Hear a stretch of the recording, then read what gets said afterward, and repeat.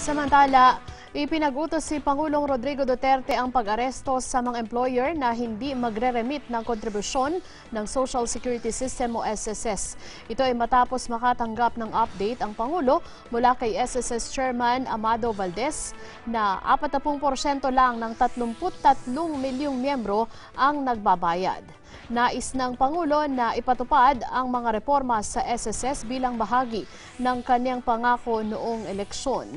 Inanunsyo din ng Pangulo na wala na rin sobrang bonus sa mga opisyal ng SSS bigaya ng sa mga nagdaang administrasyon.